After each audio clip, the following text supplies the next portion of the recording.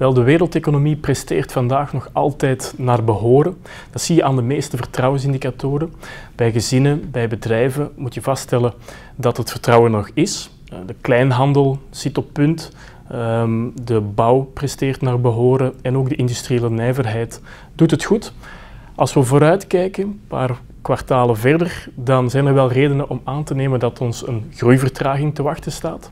Dat hoeft daarom niet dramatisch te zijn, maar er zijn wel een aantal signalen. Het eerste is natuurlijk dat we de voorbije jaren een forse groei hebben gekend van die wereldeconomie. Dus het simpele feit dat je de voorbije jaren zo sterk gegroeid bent, maakt dat het wat dat betreft iets moeilijker wordt. Er is heel wat overcapaciteit in die economie weggewerkt. Er was veel werkloosheid, die is nu fors geslonken. Er was veel onbenutte capaciteit bij bedrijven, die is nu fors geslonken. Dus dat maakt het moeilijk om nog die extra groei te creëren. Een tweede element is dat centrale banken een exit zoeken uit het ultrasoepele monetaire beleid van de voorbije jaren.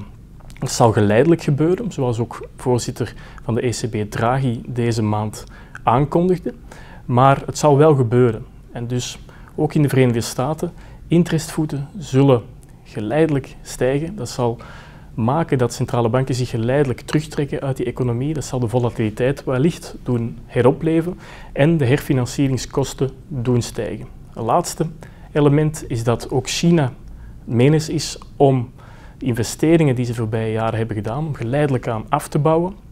Ehm, ze willen ook om afmaken met die forse kredietgroei in het systeem. Dat is wel wenselijk, maar het gaat ook gepaard met een groeivertraging. En dan zijn er nog de perikelen rond de wereldhandel vandaag de dag, waar toch een aantal redenen zijn om, uh, om te twijfelen.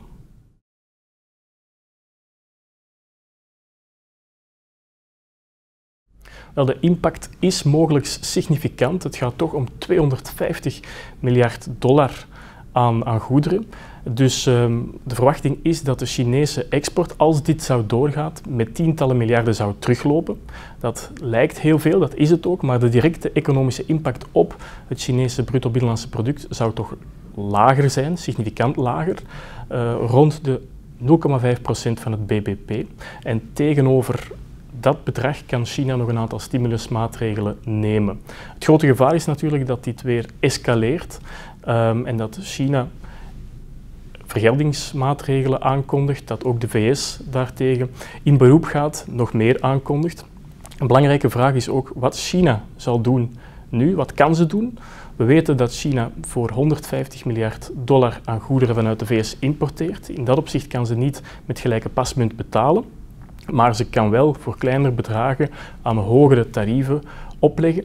Uh, dat is één. Een tweede punt is dat China het uh, Amerikaanse bedrijven aanwezig in China het lastig kan maken. Bijvoorbeeld door op bureaucratische wijze moeilijk te doen of om de Amerikaanse autobouwers te viseren. We weten dat in het verleden zijn er nog voorbeelden geweest met uh, Zuid-Koreaanse en Japanse autoconstructeurs. Die hebben toen hun verkopen fors dalen. Dat is ook een mogelijkheid voor de Amerikaanse autobouwers in China. En dan is er uiteindelijk nog de mogelijkheid dat China zijn munt verder devalueert en ook zou beginnen met de verkoop van Amerikaans schatkistpapier. Um, dat zijn echter maatregelen die, uh, die als laatste uh, strohalm kunnen worden ingezet. Dat verwachten we voorlopig niet, maar we zijn toch ongerust over de manier waarop uh, de handelsspanningen de jongste maanden escaleren.